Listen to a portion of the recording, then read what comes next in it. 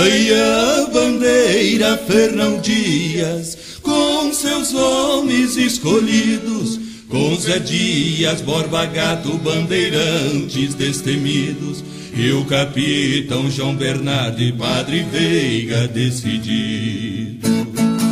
Foram guias da bandeira, ai, ai, ao sertão desconhecido. Também Matias Cardoso, Garcia Paz, Francisco Dias e Antônio Prado Cunha foram servindo de guia. Junto a Antônio Bicudo entraram na mataria. Índio, escravo e mameluco, ai ai, animais de montaria. Frei Gregório Magalhães deu benção e deu alento, dizendo a missa campal frente ao mosteiro São Bento. E o bandeirante partiu com grande carregamento. Cargueiro de munição, ai ai, fumo, enrolo e mantimento.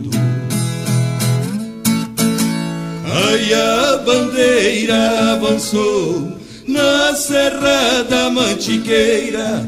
Cada guaisca caia pela selva brasileira.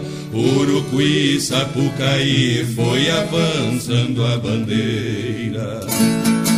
Passou Sabará do Sul, ai ai, pela mata traiçoeira.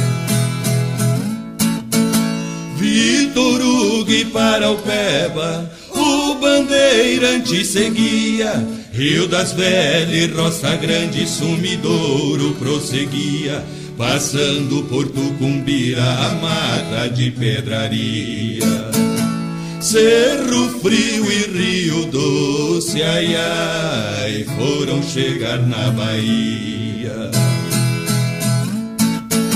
Morreu na selva em delírio o bandeirante Fernão. Sete anos de martírio em conquista do sertão. No lugar das esmeraldas que só foi uma ilusão. Surgiu São Paulo grandioso, ai ai, o diamante da nação.